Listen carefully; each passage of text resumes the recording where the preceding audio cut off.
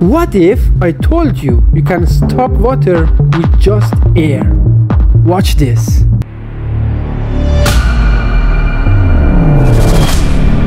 Hello everyone. Today we want to show you how to stop water using just air. We take a plastic water bottle and make two holes.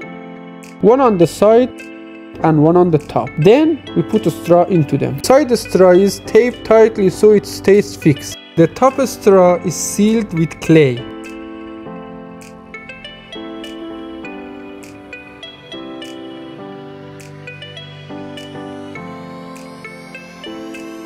Next, we place our hand over the side straw.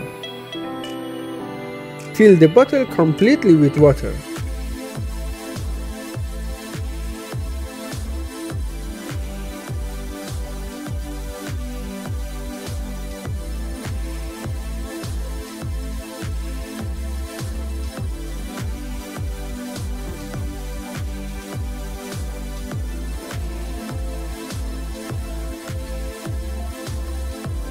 And then screw the cap on tight while still covering the side. The top straw is lower than the side one. No water comes out, but if it's higher, the water does flow out. And that's all because of air pressure. Water can only flow out if air can get in to replace it. When the top straw is higher than the side straw, air enters and pushes the water out.